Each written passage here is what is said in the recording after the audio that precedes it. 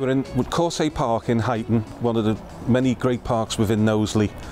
And sadly, a couple of years ago, the National Wildflower Centre was closed its doors Uh, what we want to do now from a Knowsley Council point of view is bring a lot of our key partners to uh, set up offices and set up their facilities in the National Wildflower Centre grounds and bring it back to its former glory. So we've got one Knowsley, former Knowsley CVS, we've got the Friends of Court Hey Park and Incredible Edibles, a, a, a gardening charity who grow their own vegetables, uh, educate the young people about growing their own vegetables and bring the community groups in and get their hands dirty basically.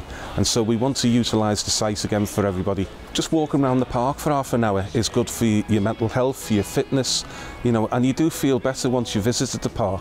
And so we want to encourage as many activities on in the park and bring as many people in. Well, there's not much funding and that's why it's very important that we all work together And for instance, say like the Friends can access funding which the council can't. We can support the Friends in getting that funding.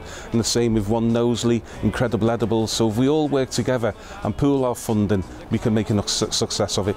So One Knowsley, we're looking to um, potentially relocate to this space, our offices, um, take on space to enable our local sector to come together, to meet, to work together.